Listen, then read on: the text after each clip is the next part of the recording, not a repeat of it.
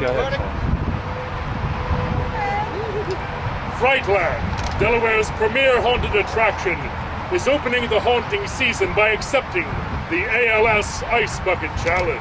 We, the 2014 Scream Team, would like to make our debut by donating $1,000 to ALSA.org in hopes to finding better treatments and a cure for this disease. But other haunts should join us in this cause. So we are challenging. Terror behind the wall at Eastern State Penitentiary, Philadelphia, PA. Shocktoberfest in Sinking Springs, Pennsylvania. And Sleepy Hollow Hayride in Newtown, Bucks County. So, Brett, Pat, and Tom, are your teams ready to accept the challenge?